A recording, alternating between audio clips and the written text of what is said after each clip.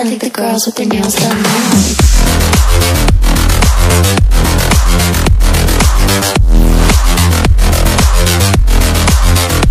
Girls with their nails done. The girls with their nails done.